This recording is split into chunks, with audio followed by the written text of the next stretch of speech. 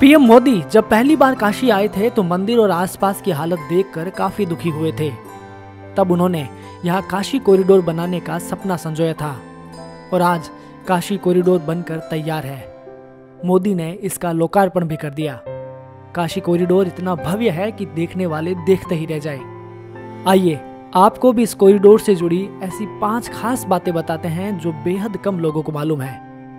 आइए बारी बारी से इसके बारे में बात करते हैं। पहली खासियत 400 इमारतों का अधिग्रहण करना पड़ा।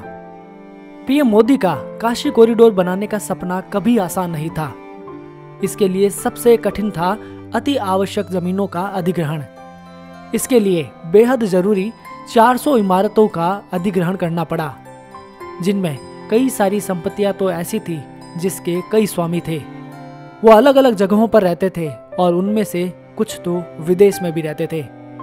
सबको एक साथ एक बोर्ड पर लाना बहुत मुश्किल काम था। ऐसे में पारस्परिक समझौते का न्यायोचित और पारदर्शी तरीका अपनाकर उन लोगों से जमीनें ली गई, जिस पर यह कॉरिडोर बनाया गया है। कॉरिडोर का यह पूरा इलाका करीब पाँच लाख वर्ग फीट में फैला हुआ है। दूसरी खासियत, कॉरिडोर बनाने में 2000 मजदूरों ने दिन रात काम किया। काशी कॉरिडोर जो आज इतना चमक रहा है, उसकी इस भव्यता के पीछे 2000 मजदूरों की दिन रात की मेहनत लगी है।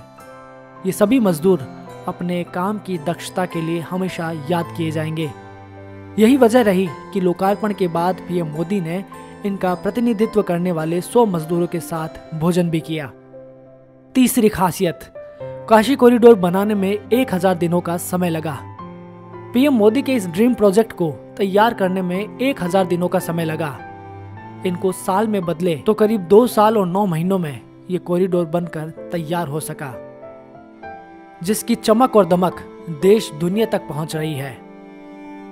चौथी खासियत, काशी कॉरिडोर बनाने में खर्च हुए तीन करोड़ रुपए।